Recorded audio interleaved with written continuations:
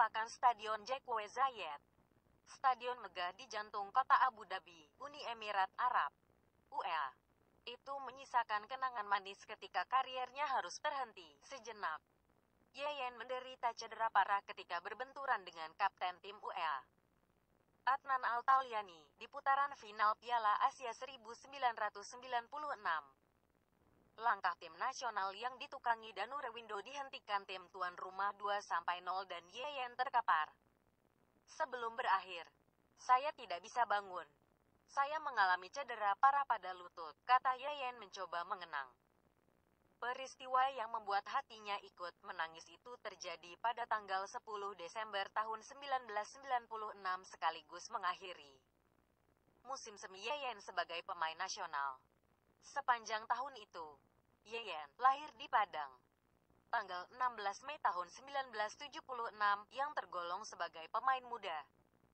Sudah diikut sertakan dalam tim yang bermateri pemain-pemain senior. Sebut saja Robi Darwis, Fahri Husaini, dan Jaya Hartono. Setelah memperkuat tim nasional ke Piala Tiger, Yeyen ikut tim nasional ke berbagai pertandingan internasional ke Eropa Timur. Yeyen, bersama Kurniawan Dwi Julianto, adalah salah satu alumnus Primavera, Italia. Proyek yang diprakarsai Nirwande. Bakri ini merupakan pelatihan bagi pemain-pemain muda Indonesia. Dari Abu Dhabi, Yeyen harus menghadapi meja operasi guna menyembuhkan cederanya. Banyak yang menyangka karir sepak bolanya akan berhenti. Namun, Yeyen bertekad membalikkan dugaan banyak orang yang begitu pesimistis dengan kondisi cederanya. Kemudian Yeyen menjalani fisioterapi. Saya sempat merasa stres karena tidak bisa melihat lapangan hijau selama 8 bulan, katanya. Namun, ia bersyukur memiliki keluarga yang sangat mendukung. Keluargalah yang mengeluarkannya dari masa-masa gelap saat cedera. Yeyen mengawali karir sebagai pemain dari lapangan sepak bola Kelapa 7 Kompleks Karyawan PT. Semen Padang. Yeyen kecil. Setiap pulang sekolah, pasti mampir ke lapangan tempat para pemain PSP Padang berlatih. Di sana, hampir setiap hari, dia gitu menikmati para pemain bayaran itu berlatih hingga suatu hari Suhatman Iman. Pelatih tim Urang Awak itu mengajaknya bermain. Masih dengan seragam sekolah, saya mendapat pelajaran bagaimana cara menendang bola, kata Yeyen. Kepiawaiannya mengolah bola membuat manajemen PSP kepincut dan menariknya bergabung di tim Pratama. Semen Padang. Di usia 16 tahun. Yeyen sudah dipercaya menjadi tim pelapis PSP senior dan katanya, padahal saya masih SMP. Dari sini Yeyen kemudian bergabung dengan tim nasional pelajar. Pemain yang kemudian menempati posisi sebagai back ini ikut kejuaraan pelajar di Sri Lanka Arafura. Game di Perth, Australia. Sepulang dari negeri kanguru tersebut, ia mengikuti seleksi pemain yang dikirim ke Italia. Waktu itu saya hanya dibekali uang saku rep 100 ribu dan tiket pesawat untuk tiba di Sawangan. Tempat seleksi digelar, katanya.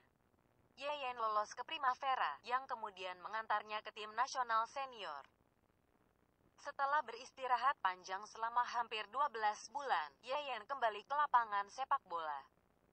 Yeyen kemudian bergabung dengan PSM Makassar dengan gaji rep 2 juta setiap bulan. Selanjutnya Yeyen bergabung dengan sejumlah klub di antaranya Persija Jakarta dan PSMS Medan. Di sejumlah klub ini, karir Yeyen tak begitu moncar, jika tak boleh dikatakan semakin menurun. Merasa karirnya makin menurun di kaca sepak bola, Yeyen kemudian banting setir berkiprah di futsal. Ia pun bersama beberapa mantan pemain nasional seperti Listianto Raharjo, Venat Huta Barat, Stanley Mamuaya, Komang Adnyana dan Paulus Krei mewakili kejuaraan futsal Asia di Jakarta tahun 2004. Setelah 22 tahun berkiprah sebagai pemain, pada 2007, Yeyen memutuskan bermain di belakang layar bersama sahabat-sahabatnya. Di antaranya Herman Ago. Dia menekuni dunia event organizer khusus acara-acara olahraga, terutama sepak bola. Penampilan Yeyen yang mulai berbisnis ini terkadang jauh berbeda ketika dia berada di lapangan. Dia harus tampil beda, bersih, rapi, dan wangi.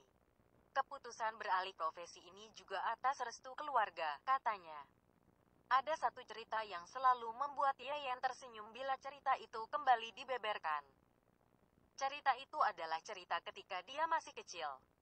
Karena hampir setiap hari bermain sepak bola, ayahnya sering kali dibuat jengkel.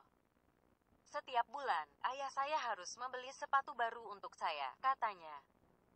Ayahnya membeli sepatu baru lantaran sepatu yang dia pakai selalu jebol dipakai bermain bola. Cerita sang ayah membelikan sepatu setiap bulan ini terhenti ketika Yayan bergabung di Semen Padang. Pratama dan sudah mendapat bayaran rp 25 ribu. Yayan tidak lagi meminta sepatu baru kepada ayahnya. Saya bisa beli sepatu bola yang lumayan bagus sih. Bahkan bisa menyisakan rep 5 ribu untuk orang tua, ujarnya.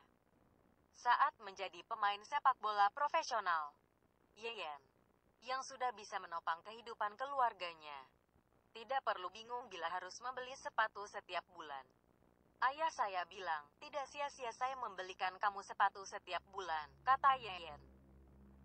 Meskipun demikian, kejadian itu masih menjadi bahan guyonan di dalam keluarganya.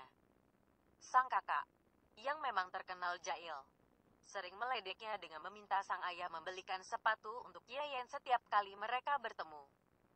Dalam pertemuan keluarga besar, ayah saya cuma bilang, dia sudah bisa beli sepatu sendiri kok, yang bagus pula, katanya menirukan sang ayah.